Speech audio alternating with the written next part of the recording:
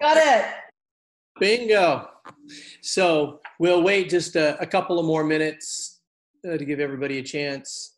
Uh, Okay, I'm sorry I took so long. I just, my computer just kept taking me to a place where it wanted me to download Zoom. And I'm like, I've already got Zoom, you know? So that's They just didn't know how hip and technologically advanced Absolutely. So you really are.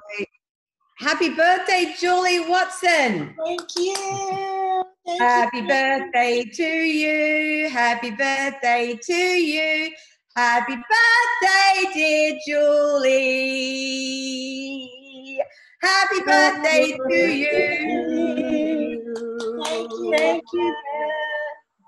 It's been a It's been a great Yeah. day. Uh, did you? That's so lovely. Hi, Red. Yeah, that's like uh, next level. Happy birthday. Sure is. It just goes to show you I'm not afraid to let people hear that I don't sing great. hey, Nikki. I love that. Thanks, Bev. Yeah. Hey, Teresa. Hey, Victoria. I haven't, I don't know if I've got everybody on here yet.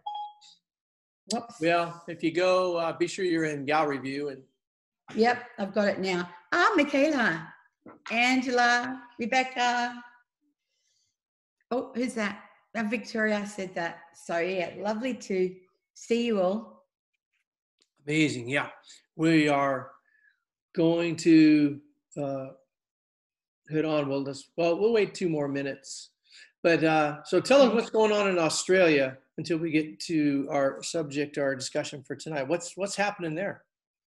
Well, the, it's halfway through autumn, more three quarters of the way through autumn and fall, I should say. And um, the weather's going to be 27 degrees today, which is pretty warm.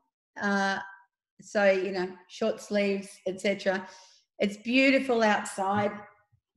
Sort of, you can just see the birds are singing or screeching anyway and um, the sky's blue. And um, yeah it's just lovely. So i don't know really what i'm trying to see if is there enough light there? Maybe this is better. Um, um, yeah, if there's any way you can maybe kill the window behind you, or no? what i'll do No. is do this and kill this window. How about that As you like.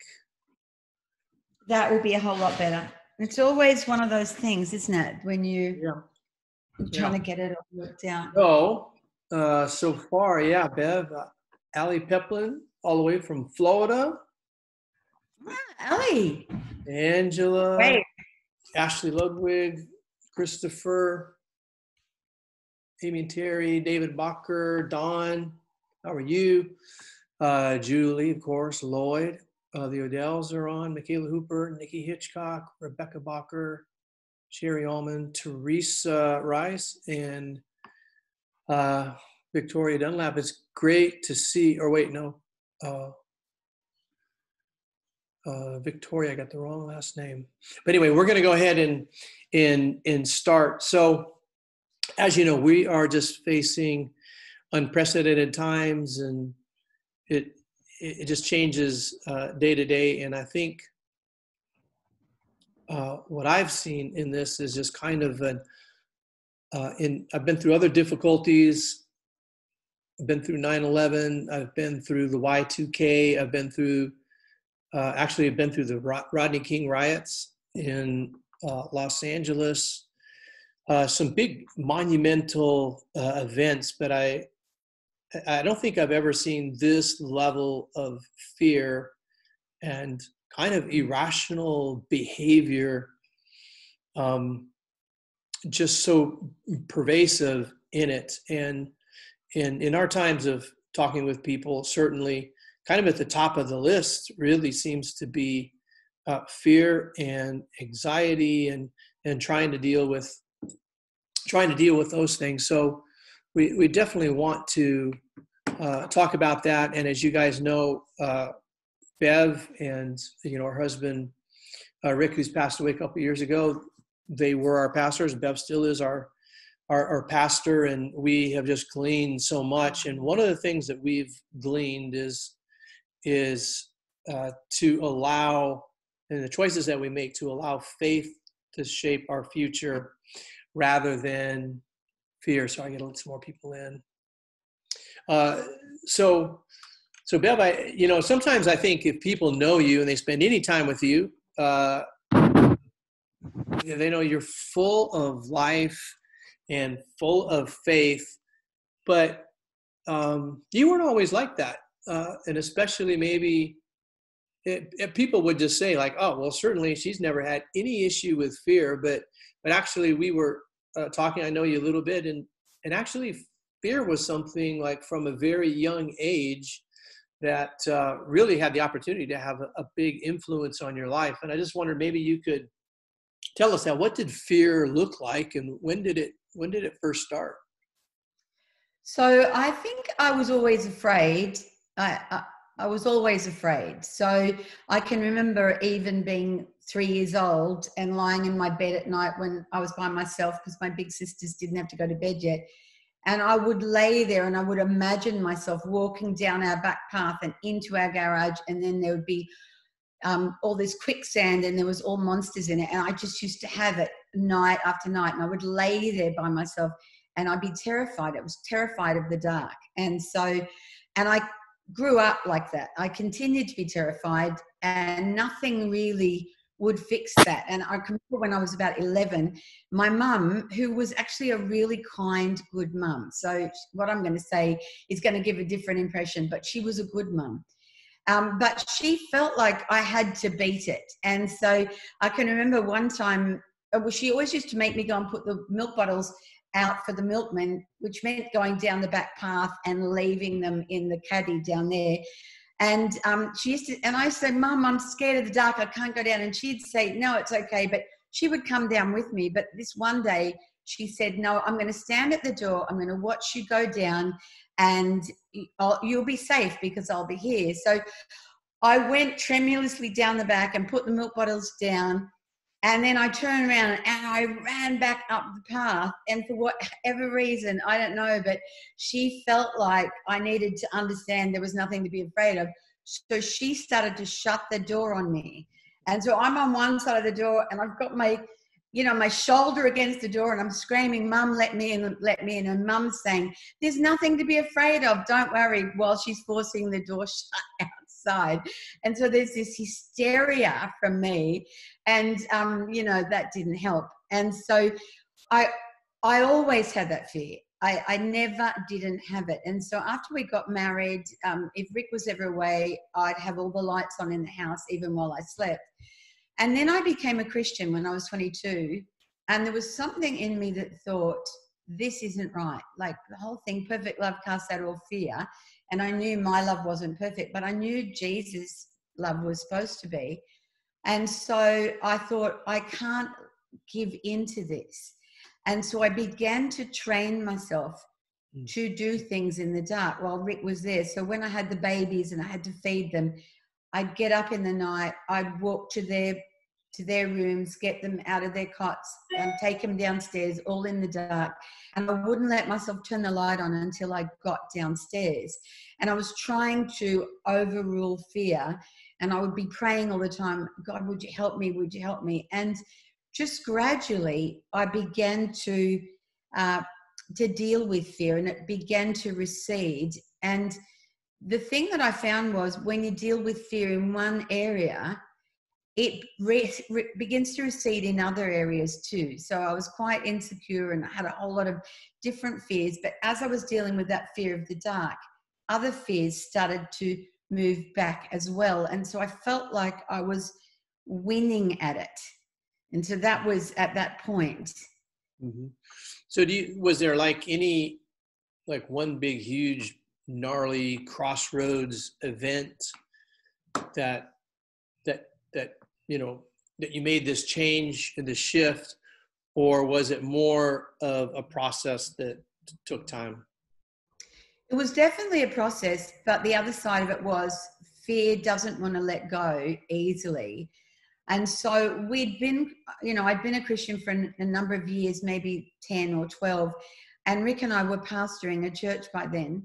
And I was, I had a car accident. I'd been going down a very windy mountain road and my car slipped out and I hit a truck and my car was just completely written off. And and I felt fear come back then, but also around the same time, I came home one day and my littlest boy, who was about 18 months, had climbed out. So we had a veranda in front of our bedroom, and he had climbed outside of the balustrade. I don't know how, but so Rick had been down the back, and so he, and the, all the kids were around, and so nobody was actually watching Seth, although everybody thought everybody else was. So he had climbed outside of the balustrade, and there was a little lip about that wide, and he was sitting on that little lip outside the balustrade. And and if he fell, it was straight onto concrete, the concrete driveway. And so I'm standing there trying to not be frightening to him, but calling out to anybody else in the house, and nobody heard me. And so I had to leave him there and run up into the house and into my bedroom and you know up the stairs and then out and then lean over and get him off the balustrade and those two things just brought fear back to me so strongly and i'd been winning the battle gradually but at that point i was afraid of everything everything made me jump everything that happened you know was just terrifying and so i um I felt like, so I feel like often we get our identity out of fear. The things that we're afraid of give us our identity.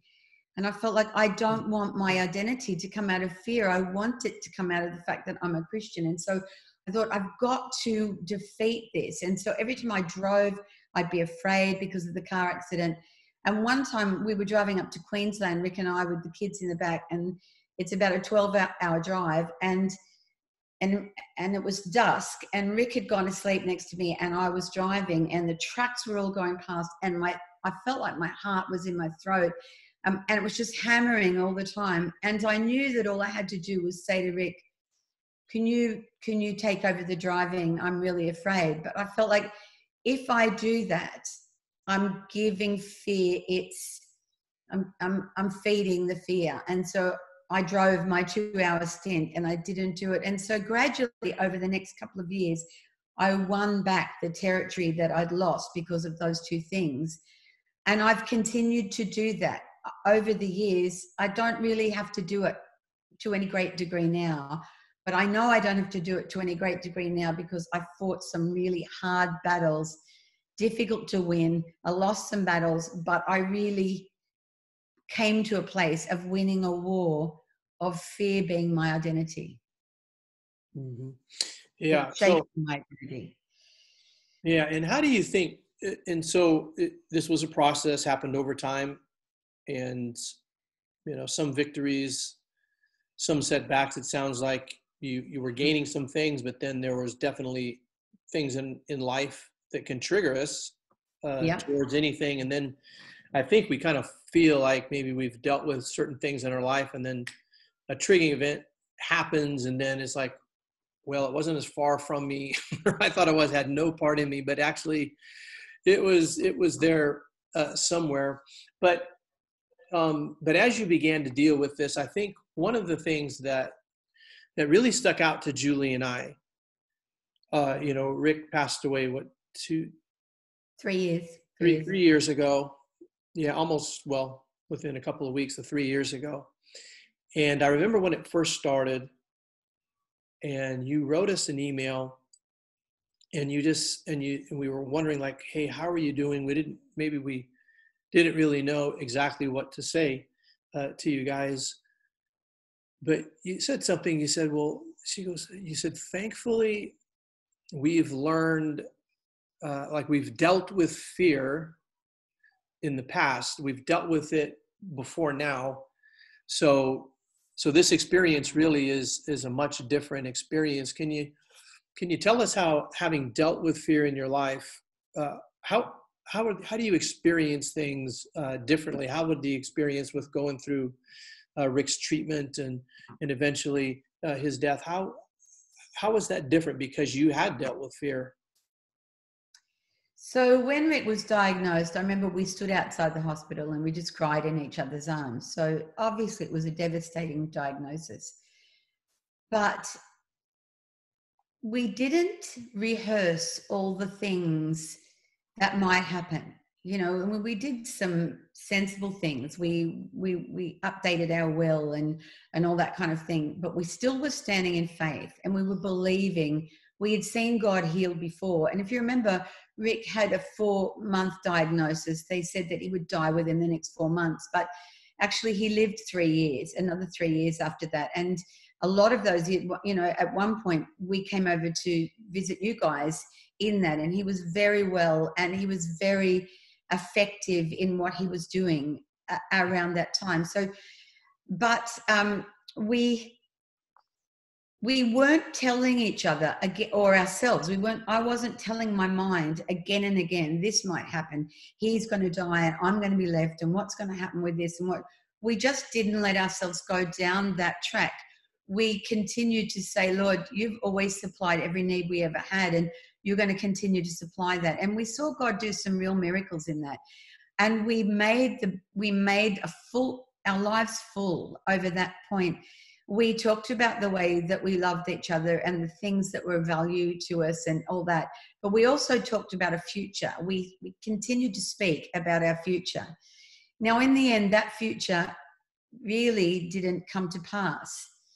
But the alternative would have been Rick, Rick said, um, I'm not dying. You know, I'm not, I'm not dying. You know, I'm, I'm living I'm living until I die. You know, my, I'm going to, to be alive until I die, and I'm going to walk in life. I'm going to speak life and walk in life until the day that I go to be with the Lord. And so it was the thing that it was within the, the realm of speaking life, which, you know, we've always talked about. But people sometimes go over and over everything that can go wrong. And there's nothing wrong with looking ahead and saying, okay, we need to put that in place and we need to put that in place. And like we did update our wills and all that kind of thing. It's that wasn't lack of faith. It was looking at, so when David saw the giant, he didn't say there is no giant. He just talked about the fact that the Lord was much greater than the giant. And so that's what we did. We felt like the Lord was much greater than the giant of cancer. And so and that's still the case. And so I know that after Rick died, a couple of people said to me, I don't really know how you can be okay. And I was like, when Rick and I were, became Christians, we made a decision we were going to love the Lord more than we loved each other. And that was a good decision because it meant that it meant that we were able to love each other better than we otherwise would have. But it also meant that when Rick went, the Lord was still there and I have not felt bereft because the Lord was still there, and because I have not, and because I dealt with those fears, even though I live in my house alone, I can walk around in the dark any amount of time. I'm never frightened, and I'm never alone. Yeah, uh, that's great. So, uh, so one of the things too that I I mentioned before was like it just seems, and we all know it, we all see it and all feel it you know this un kind of unprecedented level of irrational behavior in fear i mean there's a lot of examples but i can use toilet paper uh, mm-hmm. buying up six months of toilet tissue like uh, you know in the south there's a big joke well especially in north carolina not kind of like the mid-atlantic where there's two inches of snow and everybody goes out and we buy bread and milk uh, no matter if we've ever eaten those things in the last six months or not. Like we just go out and buy it. But we've never had the toilet paper thing. I've never seen people just like hoard uh, toilet tissue. And so obviously there's a there's a spiritual thing happening here. There's uh, something at, at, play. And the thing that I that I, I love about Bev is that you know she she knows the word of god but she's also sensitive and sees kind of bigger pictures and as far as what's happening maybe in this the spiritual realm like uh, dominant spirits that are that are uh, at play here can you tell us what uh, what you see kind of in the spiritual realm like where's this coming from So, you know, I don't talk much about spirits of anything, and mainly because I don't, you know, I, I don't want to focus on them. But sometimes you have to talk about it. And Mm. from what I can see and have felt for a while, actually, you know, probably the last five or 10 years, I've been feeling like this that there are two very strong spirits loose in the world everywhere in all of our nations. And one is sex. It's like the world is saturated with a focus on sex and, I, and the things on the TV. You have to make a decision. I am not going to watch this or I am not going to read that. And so there's this saturation with sex and the whole thing with porn and all that just being forced into people's phones and etc and people getting trapped but the other is fear and sometimes i've just been overwhelmed at watching the way people identify themselves by their fears the way they embrace their fears they have coffee with their fears they get all their girlfriends together or all their mates together and and they all talk about the things that they're afraid of and conversation is like somebody just says you know can you go to the dry cleaners for me? And and the answer might be oh no i'm afraid not because blah blah blah. And like it's even got nothing to do with fear but people you i don't let myself use those words except deliberately. I will never say i'm afraid not or i'm really scared this is going to happen. I will say i'm watching this and it is a concern that this seems to be developing. I will never say i'm i'm scared this is going to happen because it it's like it just reinforces fear to us all the time. And so my neighbor who is not a christian she's about a bit older than me and we were talking a few weeks ago and she said i have not been panic buying this was early in the process she said then i went down to the supermarket and i saw all the bare shelves and suddenly I felt terrified. And I just thought that is a spirit. That is not you having and, and you know you haven't you didn't go down there with that, but you saw the bare shelves and that thing just came over you, which is why I feel like it's so important for Christians to say, I am not going to let myself be shaped by what I'm afraid of or what everybody else is afraid of. I will not do that. I refuse that to happen.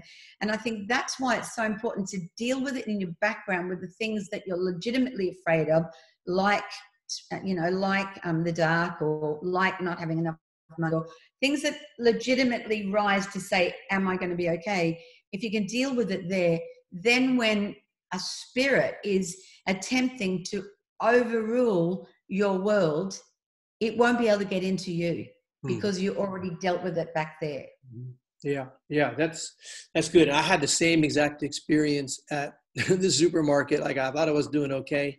I walked in this place. I saw people with their grocery carts overflowing with toilet paper, and I looked down and I saw an empty shelf. And all of a sudden, it, I probably had five panic attacks in my life, and I had a panic attack. Like it was just like ooh, and I think like, where's the carts? I better get on the move. And I took about two steps and and God got a hold of me. He's like, whoa, whoa, whoa, whoa, whoa. Come on, amigo.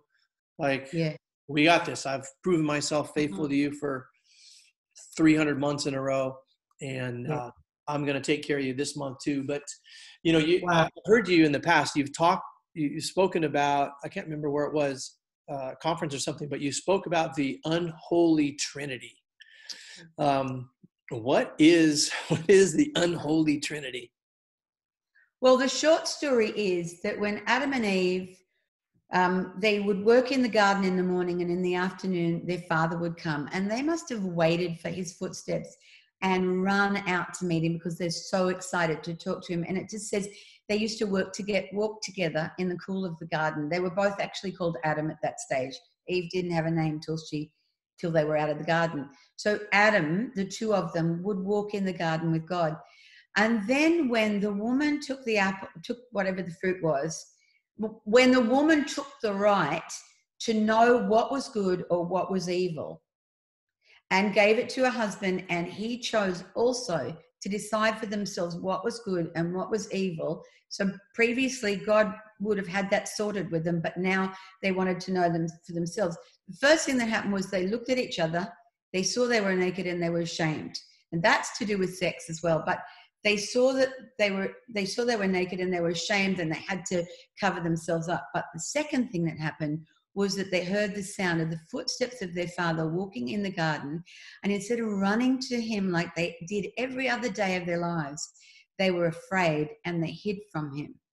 And then the third thing was that because they decided to take the right to know what was right or wrong for themselves, which is like, I'm going to buy up all the toilet paper because that's going to be right for me.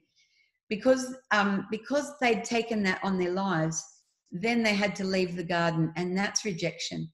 And so, for all of our lives, everybody is born with this unholy trinity that wants to rule their lives shame, fear, rejection. And the only one that can deliver us from that is Jesus Christ because he took all our shame. He died for our fear. You know, he, he rose again from the dead and gave us the right to live in freedom and dealt with our rejection. And so, but uh, it is only him that can deal with it. But we have to work, we have to synchronize with him. Like that thing that I said right back at the beginning, I sort of understood that if perfect love will set me free, and it says, because fear has torment, which it does. We're all tormented on the inside with fear. So, like back there when I was like, I cannot live in fear if I'm saying that I trust in this God that releases me from all fear. And so it has to be an ongoing thing shame, fear, and rejection. We have to find a way to work with, to, to be at one with Jesus Christ to such a degree that shame and fear and rejection recede until they no longer have a hold on us. It doesn't mean that it doesn't rise sometimes. It does rise. I, I'm not denying that. I it's not that I fear hasn't doesn't rise in me still. It's just that I know how to defeat it because I did defeat it. And I think if you remember um, one of the chapters, it might have even been the first chapter of the book that I wrote about Catalyst, is that when Jehu called out who was Jehu was going to um, was going to destroy Jezebel, and he calls up into the window, and there's these two eunuchs, and he says, "Who is with me?" And the eunuchs, who could have thrown Jezebel out of the window any day of their lives but never did, suddenly saw that there was a deliverer, and then they threw um, Jezebel out the window, and she was killed. And then they all went on to destroy all the the evil in their land. And the thing that I understand from that is if you can throw it out the window of your own house, you can destroy it in the world around you as well. But if you cannot throw it out of your own life, you you have no power on it in the world. Mm-hmm. Well, that's amazing too. Yeah, because like eh, the the eunuchs, like they were strong enough, big enough. Like at any point in time, they could have done. They could have picked her up, tossed her off, and and the thing would have been uh, demolished. Uh, yet that it did. It took somebody calling out to them yeah. saying, "Hey, like you've got the power. Like you don't have to live that way. Uh. Rise up." So uh, those are good things. Well, I want to talk a little bit now, kind of about the process. So I we've talked about um, kind of your journey uh, through dealing with faith. We've talked about uh, how what's what's happening on on the land and how it's you know there's definitely spiritual activity that is is that is challenging or maybe you know we have to be honest it's it's desires to have influence uh, mm. in our lives and to influence us away from our destiny in jesus uh, away from influence us towards uh, having the peace of christ reign and rule in, in our hearts but uh, so let's talk about some some practical things of of of, of dealing with it and uh, uh, you related a couple of stories, but but one was really uh, how do you how have you been able to build a history uh, with God that now gives you a place that you can rest your faith? So it is it is really a building. It is really something that is a building. One of the things that I found when I was a young Christian and I was trying to stop smoking and I was just couldn't. And I was walking along the road and I was I was like, Lord, please help me stop this. And he spoke to me really clearly and said to me, The day you hate it more than you love it, you'll stop. And I, I wanted to argue because I was like, I don't love it, I hate it. But I knew what he was saying. I did love it. I did love it. And so there came a time when I hated it more than I loved it. It took me a couple of goes at it actually, but there came that time. But I, you know, I read my Bible a lot. And I know that when I don't understand something the Bible says, I'll, I'll put a question mark in my Bible next to it and I'll ask the Lord to explain it to me. But one of the things I found was I needed to trust what God said better than what I trusted myself. So there would be times when I'd be afraid, for example, financially, and and I would he, have scriptures about how God provides for you, and one of them, and my God will supply all of your need according to His riches in glory by Christ Jesus. And another scripture says, faith comes by hearing the word of God. And so I would speak that out. Um, Lord, you said that you'd provide all our needs according to your riches in glory by Christ Jesus. And even as I said, as I would say that, my mind would say, that is stupid. How is saying that going to make the slightest bit of difference to the fact that, you know, Rick's job is on strike and you don't get enough money on, you know, in your, your, your money runs out before your month and, and it's just words, you know, and so there'd be this struggle and my stomach would feel sick because I'm scared that we're not going to be able to pay the mortgage. So my stomach would feel sick. My mind would be telling me that I'm stupid for thinking that just saying words, it's just a mantra and a mantra is never going to help anybody. But I had to let my spirit be stronger. I had to, I had to think. The Bible says that the mind is at enmity with God but your spirit isn't at enmity with God. And so my spirit would be instructing my mind to say the word of God. And I would say it and say it.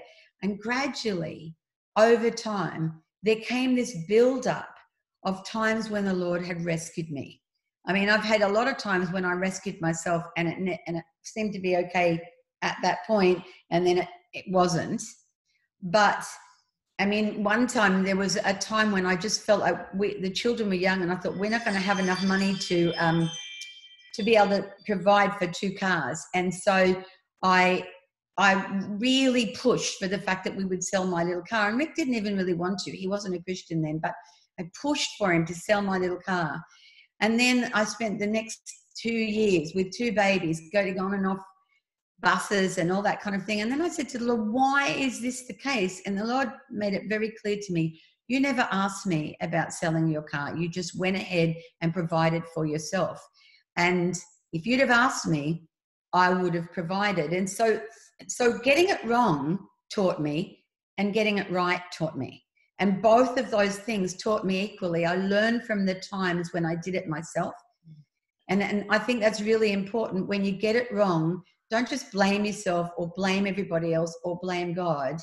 Just let God teach you. You didn't ask me, and therefore these are the consequences, which is the the knowledge of good and evil. I thought it would be better to sell the car, but it wasn't. And so God will let me take consequences of doing it for myself. But he also taught me from that. And then he taught me other things as well. So you know the story in Joshua where they they come through um, the River Jordan, and and then God speaks to him and he says to him, get 12 stones. Each tribe get 12 stones out of the middle of the river and put them on the riverbank.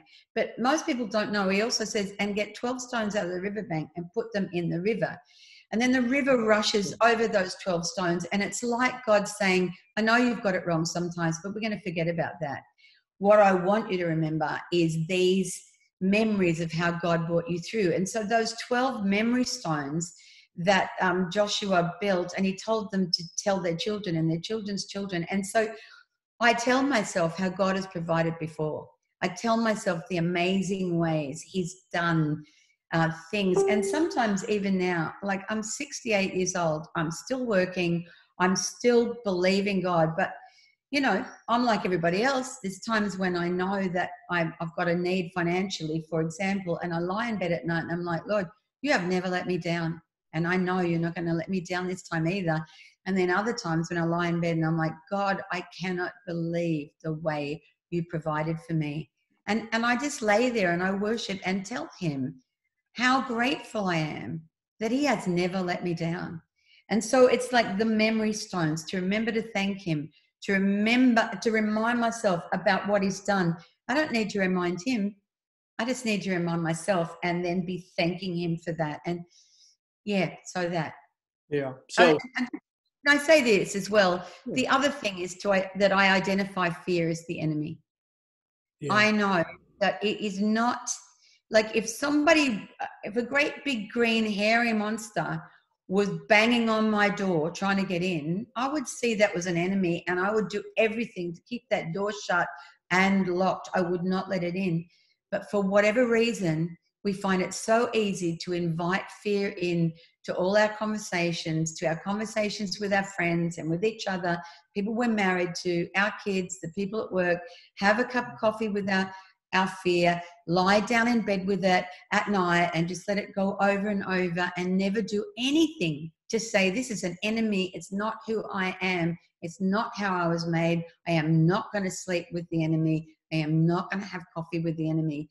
We don't, often, we don't even do anything about it. And I realize you can't defeat it overnight, but you have to make a, you have to begin. And if you begin the process with one thing you're afraid of, just one thing, and gradually win that battle, all the other fears recede.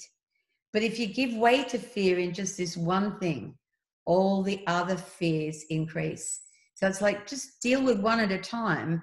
But as you deal with that one, you're beginning to build up a store of, of strength with which to deal with the other fears as well. Exactly like you did in the supermarket, Jeff, when you, you felt the thing that's in the world, the spirit of fear in the world, and then the resources from which you've dealt with fear all the other times just rose up and was able to just put you back in the right place.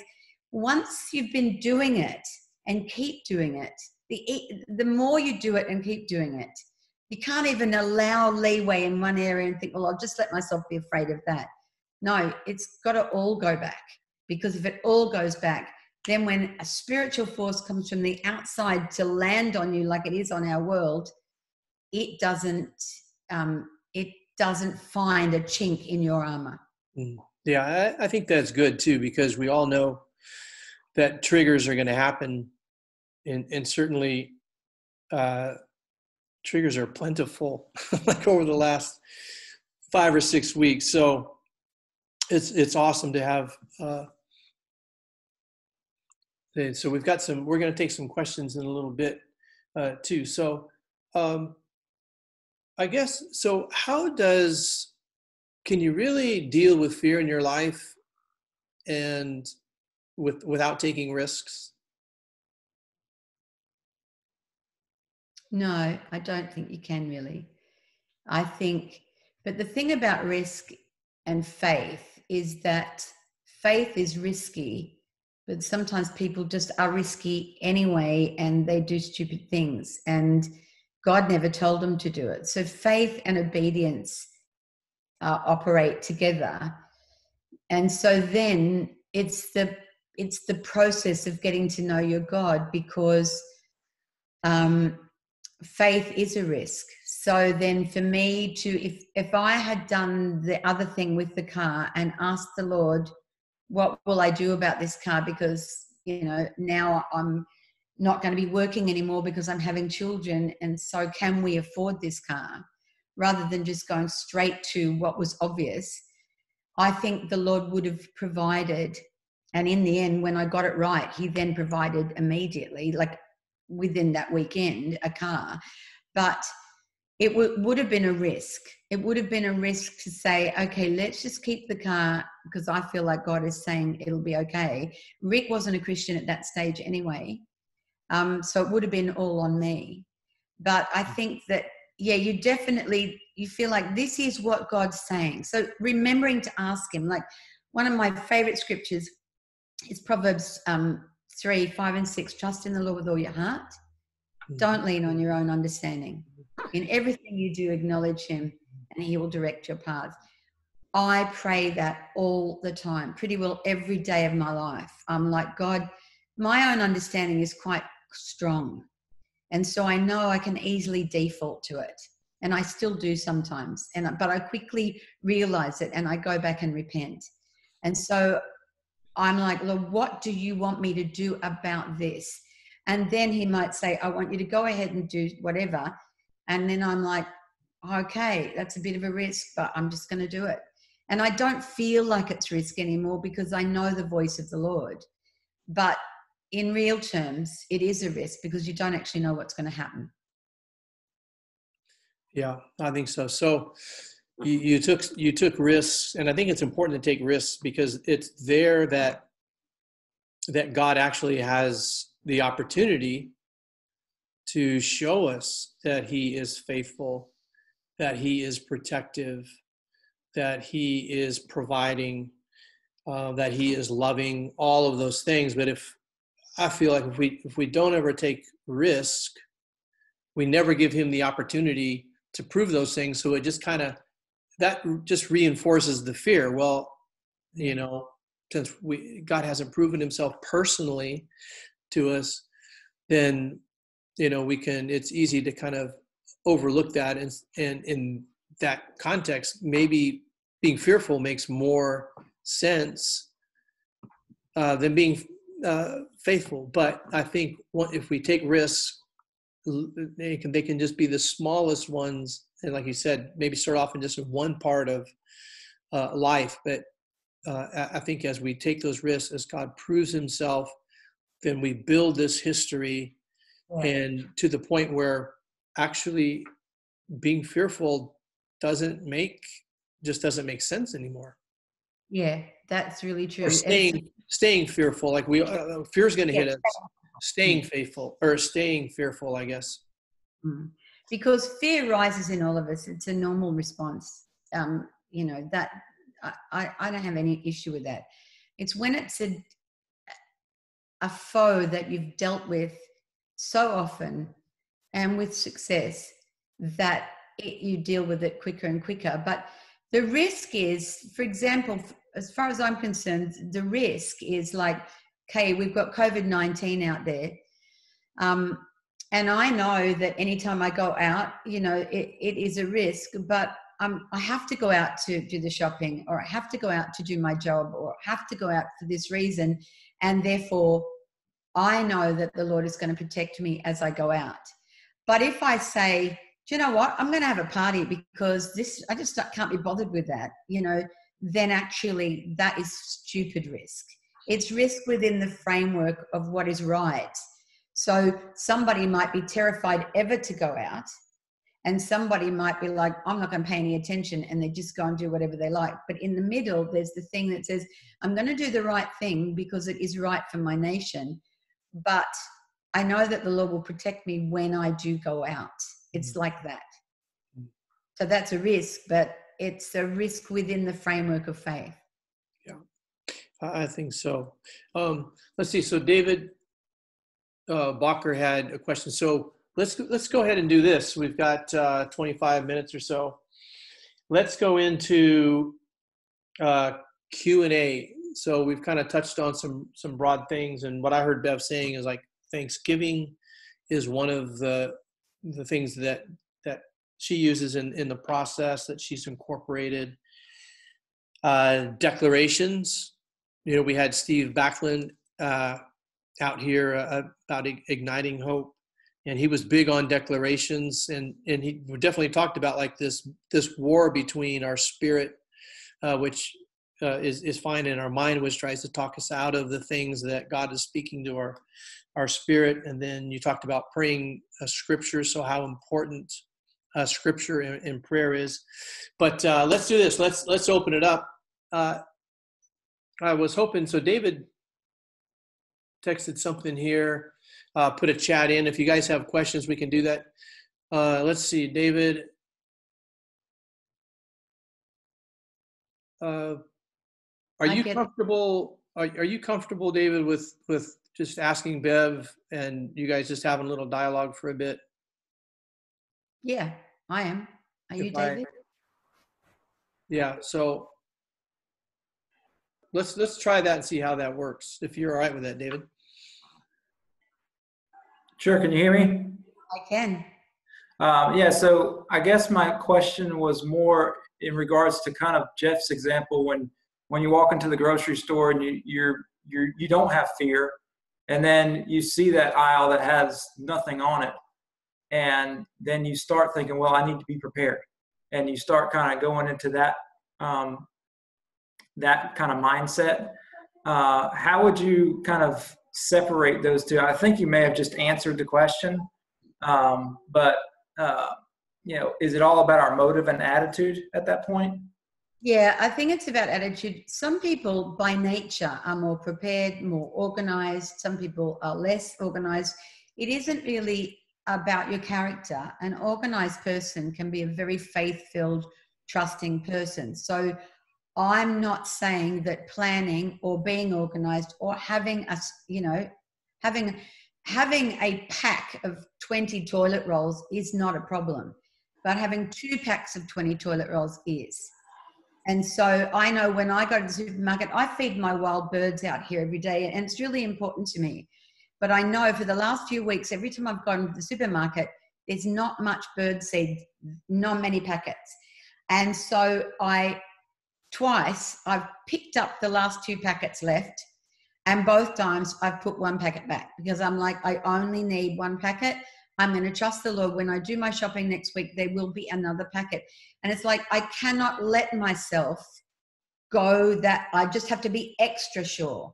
And so being prepared, I think the difference between fear and being well prepared is definitely the driver because we often baptize our fears and we call them something else and we and that sort of makes it acceptable like perfectionism. Well perfectionism is just fear and over planning is just fear and concern i'm just concerned that that often can be fear. I mean i might use the word concern as well but sometimes people use the word concern and they actually mean i am afraid. So it's the thing on the inside am i trying to protect myself and make sure that me and my family are all okay um, and therefore i'm doing the extra? Or am i or am i saying i'm going to take the one packet lord and i'm going to and one packet of pasta one packet of chocolate biscuits unless you go through two packets in a week you know and then it's two packets but whatever you would go through in that period that's all i'm going to pick up so that is prepared because then you've got like my pantry. I've got everything I need in my pantry, but I don't have three of everything I need. And if I've got two of everything I need, that's just coincidental. I didn't do it on purpose. So that that we're talking about food, but actually that goes into every area of our lives. It's when I know I it's when my driving motivation is that I've got to stay safe, as opposed to Lord's gonna help me stay safe. There'll be food there next week. There'll be toilet rolls the week after. It's gonna be okay that's it's always about how you feel and whether you it's the tree it's the fruit of the knowledge of good and evil whether i'm going to let god supply for me or whether i think he's pretty busy up there and he doesn't know that i haven't you know that next week i might not have everything i need mm. Mm. is that is that a good reasonable answer yeah okay yeah thought it's good stuff um, anybody else have a question now is uh, your chance. Well, what about it, Bev? I mean, sometimes we become believers and we just kind of have this understanding like, you know, just that believers aren't fearful and uh, it doesn't happen. And if it does, you know, you just deny it or, you know, kind of uh, slough it off. But how, you know, how do we deal with when we're not really, you know, just like we should never be doing things just because that's what a good Christian person does, right? Um, but what is, how would you, and you mentioned something about fear and identity, maybe like fear and destiny. So how, how are those two things really kind of intertwined? What do you, what do you mean when we, when like fear is our identity? What do you, what are you speaking to? I'm speaking to the thing that says I have to have my house in order because somebody might come and then they're going to judge me. or I have to have this amazing car, even though I'm going way out of my depth financially to get it, because people might not think I'm good enough if I don't have an amazing car or an amazing house, or, um, or you know, like in some churches, people carry the you know, so you, you go into some of the churches, people carry the biggest Bible because everybody's going to know they're spiritual. And then you go into another church and it's all about your little Bible and, you know, that you carry in your pocket or, or, you know, how many times you prophesy or, um, or whether you're married and whether you're not married and what people will think. And you end up you know, marrying the wrong person or being with the wrong person just because you're afraid people will think you're not good enough if you're not married. Or it's the thing that drives us to present a different picture, to not to not be just me. And I think like I was a very insecure uh, child and teenager and woman. And so therefore I had a lot of issues to work out. And gradually the Lord just got across to me you've got to let that thing go. You've got to let that thing go. And when i let it go um so i think i've said to you before i was very sarcastic and very cruel with my with my tongue and with my way of speaking about people. And people would laugh when i said funny things that were cruel as well. And when the lord was saying to me you're not to do that anymore this was before i really understood about speaking life but he was saying don't get your identity out of being that person anymore.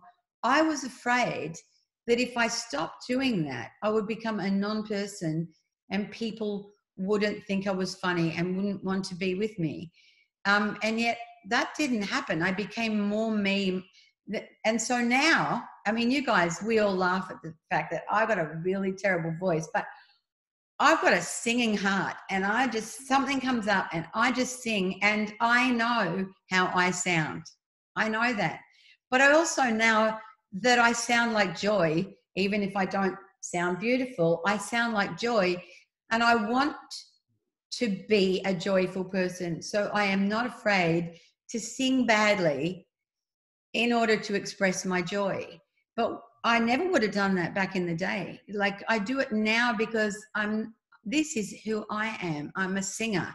Just because I don't have a good voice doesn't mean I'm not a singer. And so or sometimes I will speak the truth directly, not because I don't like the other person, because I think the only way through for them is to understand. And but sometimes so we get our sometimes we get our identity out of being what we think everybody else will like. And that's motivated by fear and motivated by rejection and shame as well. We think we're not good enough. We think people won't like us if we're normal.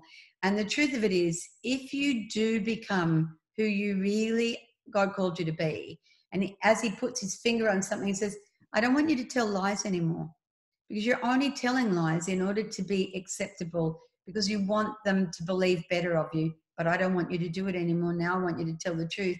Then there's this massive risk because you're like, well, if I do that, therefore people won't like me or won't hire me or won't do whatever. But actually, the more like yourself you become, the freer you become. And the freer you become, the more shame and fear and rejection do not have a hold on you. It's a very difficult path to walk and there's a lot of embarrassment in it to start with. But gradually, it's just like, this is me. And it means if people don't like you, like for me nowadays, I love me now. You know, the Bible says, um, love your neighbor as yourself. Well, sometimes I think if we loved our neighbors as ourselves, God help our neighbor, you know. But if we gradually love ourselves because all the extra bits are being peeled away from our identity, and we become who God created us to be, it means we truly can love other people without judgment. We really can. And once we love other people without judgment, then if they don't, if people around don't like you, I always think to myself, well, you've missed out because I'm a really good friend. I'm a good person to have around. You know, I like me, and you would have liked me too if you weren't busy defending your identity. And I think if all of us, if Christians could be that, I don't mean speaking harsh words to each other because it's the truth. I don't in any way mean that. because I think if you love yourself, you'll love other people and you'll find ways to bring truth to them without crushing them. So mm. uh, that's not what I mean. I don't mean I don't mean, oh, well, that's just me, take it or leave it. No, I don't mean that. I mean letting the Lord deal with you, with your issues, running the risks that people may not like you anymore if you stop lying or if you stop having the biggest car or if you stop, you know, whatever, if you stop being cool. Um, once that's worked out in you, it enables you to build other people in who they are and help them begin to take risks in their life to be themselves as well and help them begin that process. But honestly, it's a process that takes years. I'm not saying it's quick. Yeah. Cool. Okay. That's, yeah, that's good. So you just got to get a big Bible and sing loud no matter. So I don't know, you might be making Michaela Hooper's job tough. She's going to have all these people apply uh, for worship team. I can't sing, but you are a worshiper, Bev. I And, uh, am.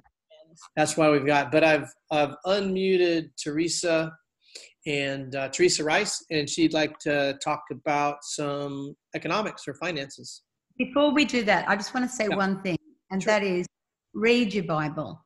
Don't get one of those little books that says, this is the scripture to use in this situation, and then use that, because that's a mantra. It's okay for somebody to give you a scripture and you think, okay, you know, I needed to hear that, and now, but read your own Bible for yourself and mark your own scriptures and hear what the Lord's saying to you, because if you just get a thing that says, 30 scriptures to use under these circumstances. It's just a mantra, and a mantra is not going to save anybody. Sorry, Therese. Go ahead, Teresa. No worries. I love you, first of all, and I miss you.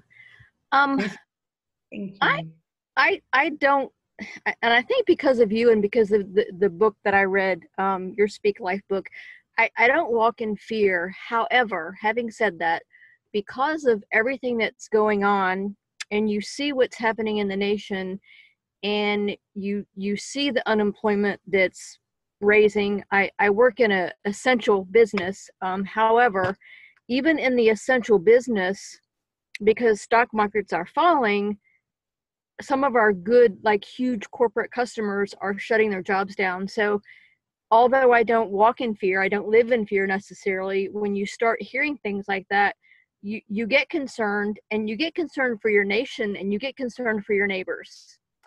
And so um and so that's it's a it's a hard thing. First of all you're working so you almost feel guilty because you're working and so many other people you love are struggling um I don't know, but it because it's happening not just to us and to our neighbors, but really to the globe.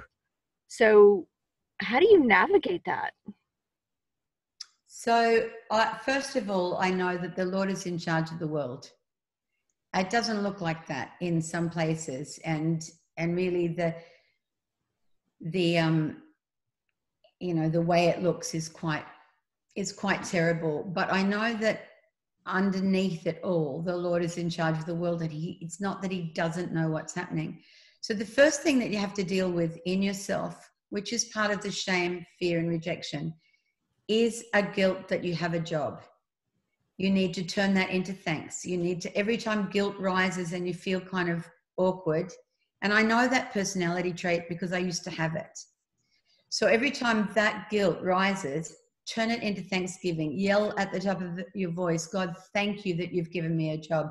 Thank you that you're providing for me. And so, so start there because that is really vital.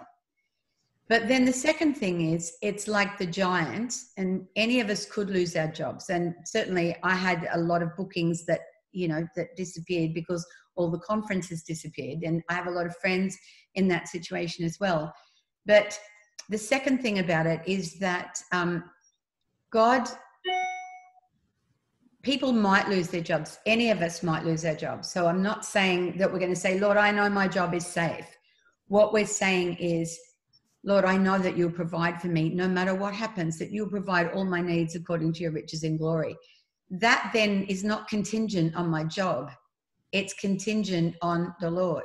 So that's what David said when he looked at the giant. He didn't say there's no giant. He said, Who are you, uncircumcised Philistine, to come against the armies of the living God?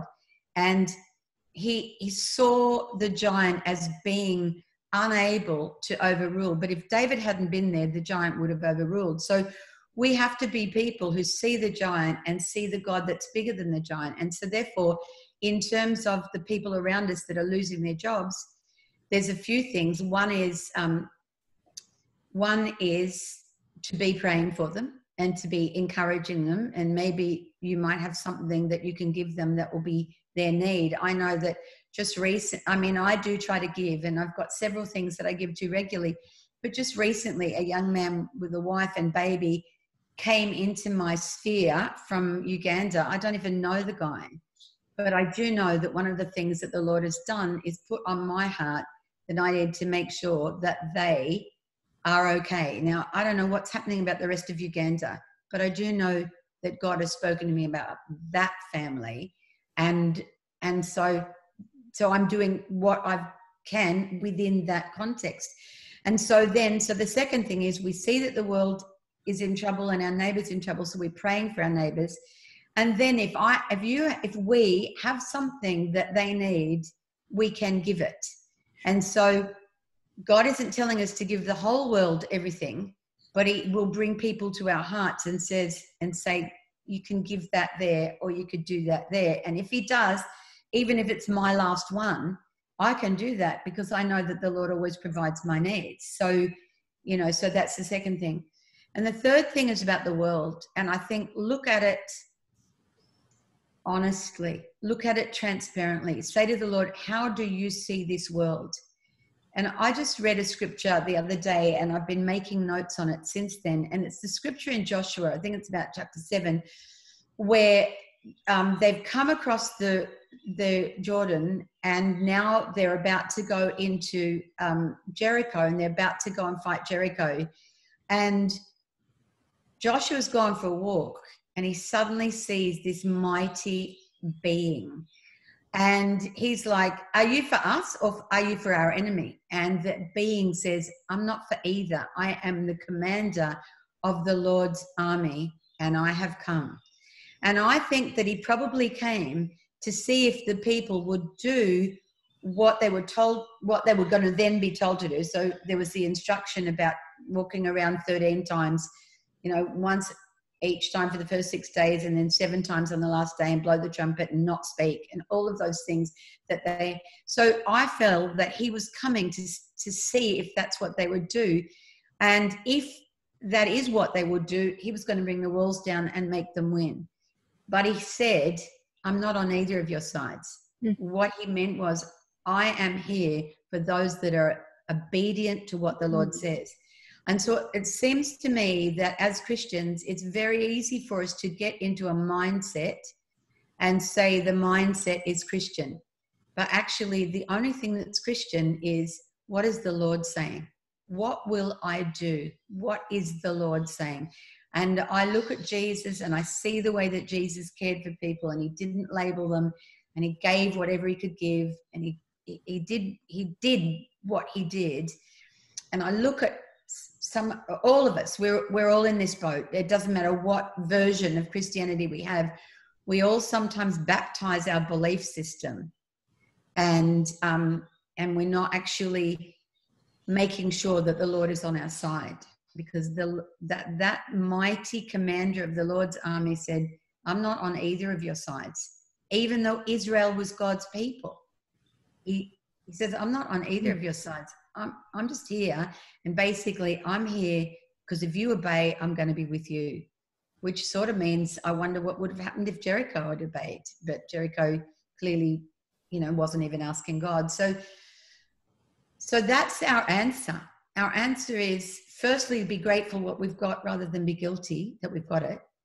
Secondly, to ask to ask the Lord on behalf of our neighbors. And if He says, and by the way, I know you've only got one roll of toilet paper left, but I want you to give it away.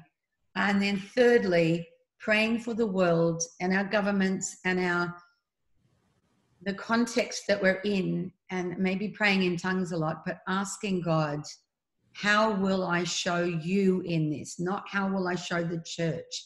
Because there's always a church within the church. There's the church, which, yep, everybody loves God. And then within the church is the people who are saying, Lord, what are you saying? Because I want you to be on my side. So I'm going to obey whatever you tell me to say. And so, do you get that? That's awesome. I took notes. Yeah, Great. that's good. I know a couple of people did. And I think, I love your comment too about praying in the spirit because honestly, I think uh, in this season, praying in the spirit is just like, it just, it, it brings me peace, like almost like reading God's word does, um, thinking the right things, uh, you know, thanking Him, remembering the mem- memorial stones, but actually uh, just praying in tongues, uh, uh, praying in the by the power of the Spirit for five minutes is just I don't know for some reason it's it's just extra applicable or and extra powerful uh, in these times. Um, so let me uh, we got kind of one one question somebody was asking about the difference between anxiety and uh, fear and if you were to to try to i mean i've got my own thoughts on it but um what what how do you think that works what's the difference between fear and anxiety or anxiousness I don't think there's any difference. It just got a, a more acceptable name. yeah yeah and, and and for me I- so i was kind of thinking about it and i had some some time to think about it while you were talking uh with, with the question but it seems to me like fear is fear is like hey there is a bear three feet away from me right now and i feel something like the fight or flight uh, kind of thing uh, and for me anxiety is kind of like there isn't really a bear there but there's like something there and it's not here it's not here with me right now. Like in this room three feet away from me it's it's probably out in uh, later on that day or tomorrow or something just the kind of the possibility of running uh, running into something. Maybe it's a bear but some unnamed uh, thing like in the future. So i think Yeah. when i, I think about those two things it's like present name and you can actually name the fear and i think that in some way it may be a little bit easier because it's right in front of you. Uh, but i think anxiety might even be you know kind of the low grade fear that's kind of underneath the surface and that's it's maybe a little bit uh, harder or more process uh, oriented in terms of dealing with it because it's unnamed and it's you know it's just kind of out there. Uh, but certainly i think i agree like the, the effects on us are the same. It it kind of wrecks the moment. It it wrecks the the today. It wrecks being present in in what we're doing. I I feel that I, I really agree with what you said. For me, I'd say anxiety is there could be a bear out there. There is a bear, or there could be a bear, but the father of anxiety is fear. Uh, you know, the father of perfectionism is fear. The father of all the words that we could use, its father is fear. So it comes like if you read, I don't know whether you ever read that book by Hannah Hurnard called um, Hind's Feet on High Places. It's a fantastic book to read to understand about the way fear is just um, wants to own us. It wants to own us. i read that off of i stole it off of julie's nightstand a few years ago I read it. parts of it as she was reading it was it was amazing can uh so can somebody type that julie can you type that title of that book in the in the comment section so everybody can take a peek at it and get it and i also put in there speak life and uh, shut the hell up by bev Murrill Um, yeah, I, I just that, the thing that I want to say to everybody is it wants to own you. It wants to say who you are. It's stealing your identity. It's robbing your identity as the person that you were called to be. Because if you're afraid, you know, there's this this really cool quote that I always love um, by somebody whose name I've forgot now, but it is it's hard to lead it's hard to lead the charge in an army if you think you look funny sitting on a horse. And what it actually means is you might be called to lead the charge. You might be called as a great warrior. You might be called as a person who's, you know, going out to do bold, amazing things. But if the baseline is that you can't do any of it because you think that you look funny sitting on a horse and people will laugh at you, everything else won't get done. And so that's the point. We have to be comfortable with ourselves. We have to not let fear shape our identity. It doesn't mean go and do stupid things after that. It means hearing from God and responding to God. Always it means that. And the thing that um, Jeff said about praying in tongues, you know, just absolutely for that. But, and, and not but, not but at the end of that. That's a full stop. Then the new thought is we are not born again perfect. We're born we're born again and all our sins are forgiven. But you know, you could be born again and if you were racist and got brought up in a racist household, you'd still have to go ahead and find ways to firstly understand that racism's wrong and secondly to deal with it and thirdly sort of come out the other side. Or if you were brought up thinking that only people who had, you know, an intellect over an IQ over 120 were really valuable, um, you'd have to go through a process to realize everybody's made in the image of God. Or there's certain things that are just enculturized into who we are. You know, if you if you were brought up in a home where everybody beating the daylights out of everybody else was acceptable, you'd have to go through a process. And so that's external things. Internally, our predisposition toward that unholy trinity, which is shame and fear and rejection, have to be beaten. And they're beaten one step at a time by the Lord putting his finger on one of those things and saying, I don't want you to do that anymore. And you thinking, okay. And, you know, when I was trying, I used to have really, really bad language, like very bad. And Rick used to say to me, you know, you don't, you know, you know, Rick didn't think that was good and when I became a Christian, I was focusing on stopping smoking. But while I was focusing, focusing on stopping smoking, the Lord was changing my language and stopping me swearing. And so, bit by bit by bit, the Lord will deal, he'll just deal with the next thing, and then he'll deal with the next thing, and then he'll deal with the next thing. And all that's required of us to have our identity reshaped around who we're created to be in Christ is obeying each of those things and winning that little battle and then going on to the next one and letting who we are in Christ be our identity, not shame and fear and rejection. Yeah, that's so so good, so good. So let's uh, uh, we're gonna wrap it up. I hate to say it's been time has flown by. It's been an hour and 15 minutes, 75 minutes. That's kind of the length of these Zoom talks. Uh, but uh, I just want us to, Bev, I'd, i love for you to pray over uh, the room here.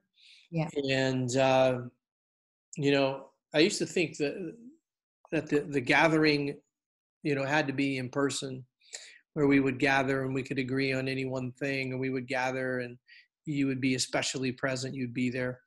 Um, but I'm actually thinking like whatever form the gathering takes, uh, not that it's ever going to be a substitute for coming together because we miss all you guys like crazy. It was so good to see people's faces today and come so close.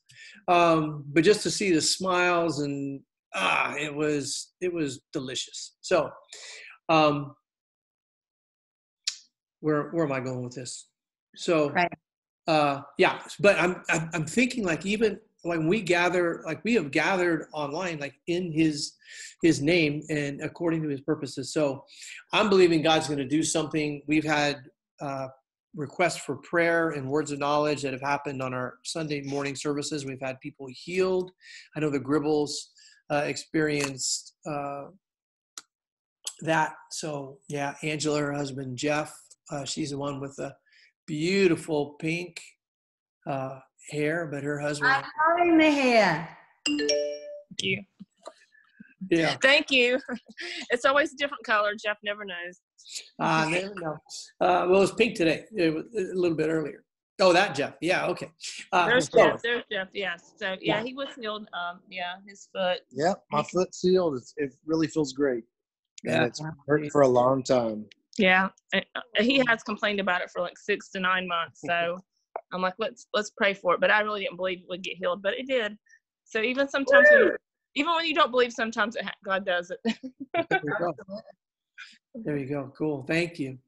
Uh, so, uh, without further ado, uh, Bev, if you could pray, and I'm just going to put my hands out just because I'm I like taking action steps. Uh, faith for me is always an action uh, more than it is a thought, and uh, just to receive, Bev, if you would pray over us, uh, that'd be amazing.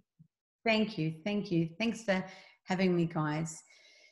Father, in the name of Jesus, we all come to you together. We're all in the same boat, Lord. Not one of us uh, didn't enter this world with already a predisposition to an unholy trinity of shame and fear and rejection that would want to rule our lives. And so, Father, we all are so grateful. Words fail us to say how thankful we are that you provided a remedy and an antidote against that unholy thing when you sent your son Jesus Christ to die for us and pour out his blood all over us, Lord God, so that the consequences, the um, not the consequences, but the punishment for sin would be taken away from us, and that every one of us can come to you and you see us clean and righteous, and Lord, that we will be able to walk into your throne room, Lord, looking like Jesus, just absolutely perfect. And yet, Lord, we also know that we're given this time on earth to uh, um, become more like you. And I know, Father, that because of the Spirit over the world, fear wants to grip us. Fear wants to strangle us. Fear wants to stop the body of Christ from being effective and whole and holy in the world. Fear would want to uh, bring us down and, and make us unable to go forward, like the guy that's supposed to be leading the charge but can't even get on the horse because he thinks he looks funny at, at, at that. And so, Father, in the name of Jesus, I take authority over the way that fear has desired to run our lives and rule our lives at little levels or at great levels or in between.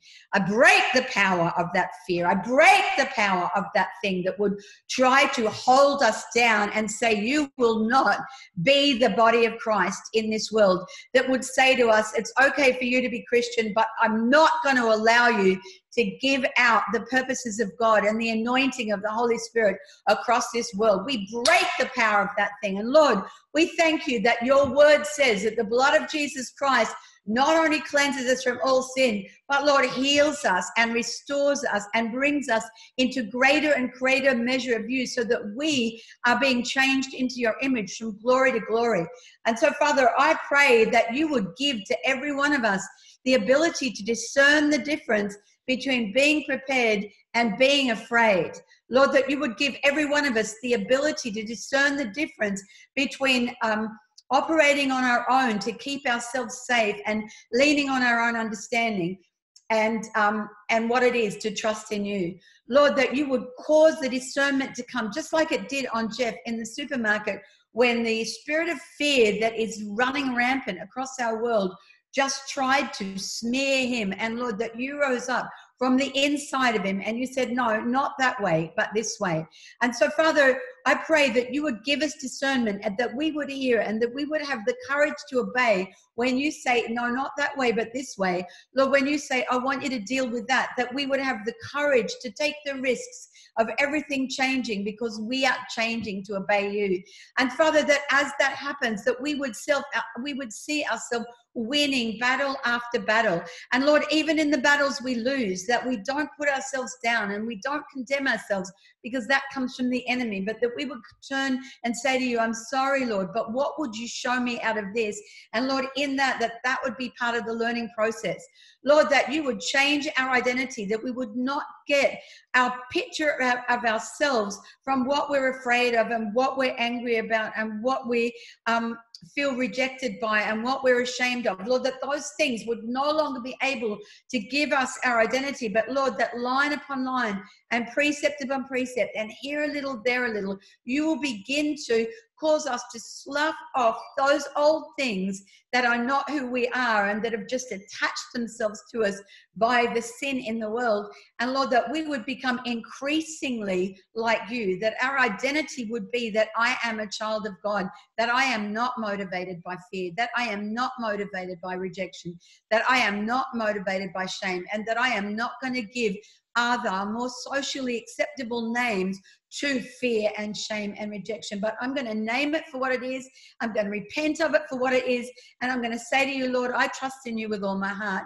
Help me not lean on my own understanding. Help me just keep remembering to acknowledge you in every single decision I have to make and know that you're directing my path so I don't have to be afraid. Lord, I pray for revelation of the mighty power of God to give us our identity and give us the power to be able to deal with fear and tell it to to leave our lives and lord that we would find our lives changing so that lord as we go further and further down the track we will see that we are no longer in hand to hand combat with the enemy because we see him coming over the hill, like Jeff did in the supermarket, and we're able to deal with it at that point, and that there is really no strong battle. It's just a, a little skirmish that we've been able to come through. Father, I pray for revelation on Newsong. Lord, that there will be revelation on Newsong, that they would exhibit the astonishing power of a people who hear from God and obey him, so that when the commander of the Lord's army has to work out who he's going to stand with, he's going to stand with us. Lord, let it be unto us according to your word, I pray, that fear and shame and rejection no longer direct our lives, but you direct our lives, and that we are free to walk in courage and in strength and in total acceptance of who we are as your child. Lord, let it be unto us according to your word, we pray. In Jesus' name. Amen. Thank you for that. I feel fortified. Thank you. That's good. Yeah. And and I just feel like uh, there's somebody that, that's thinking the thing that we deal with sometimes is like, hey, um, yeah, there's for somebody that's going to take some risk and and and, and there's going to be some overcoming moments. I, I believe life is going to get better. Uh, life is going to well not better. Life is going to get bigger. Life is going to get bigger. God is that's His desire. That's His plan for our lives. That it would that we would grow. It would become larger. It would become fuller. It would become more powerful, and uh, that is going to uh, happen. So, all right. Well, uh, thanks. We're going to go ahead. We've got this recorded. We're going to try to put it up on Facebook. And uh, a week from Thursday, we have uh, the Odells uh, that are going to be here, and they're going to be talking about finances. Uh, and uh, this Saturday, for the guys, we have Rick Cromlich, a retired Rear Admiral for the Coast Guard, talking us talking to us about making quality, the art of making quality decisions under pressure. And yes, ladies, it'll be recorded. It'll be on Facebook. We're going to attempt to do all that. But Bev, we are just so honored and and humbled. So good to hear your voice, and uh, I can I can feel just some things being uh, broken, and uh, I can hardly wait till we are together again. And if that, uh, yeah, and including you, we want to see you on this continent singing with that loud, beautiful, uh, joyful voice. Uh, yes, and uh, declaring life uh, over us and convincing us uh, that we're supposed to speak life. So we're going to go ahead and end the meeting. And if you guys want to, if you guys are Bev's friends on Facebook or something, you can send her uh, an encouragement, something that she spoke that that blessed you, and uh, stay in contact. And uh, we'll see, men. We'll see you on Saturday, and uh, uh, for everybody else, we'll see you next uh, Thursday night for our next Zoom class. Bless you guys. Bye. I'm honored. Thank you. Bye. Have a good evening, guys. I'm going to have a good day. Thank